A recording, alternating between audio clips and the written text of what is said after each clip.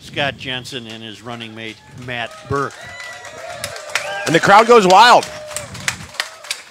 And I got to tell you, man, before we get into what I think's important, and what I think's important probably doesn't mean much to you guys, but it might. Uh, if I hear any more of this Holocaust stuff, I'll never talk to you again. That was just utter embarrassing BS. I don't stand for it. I can't take it.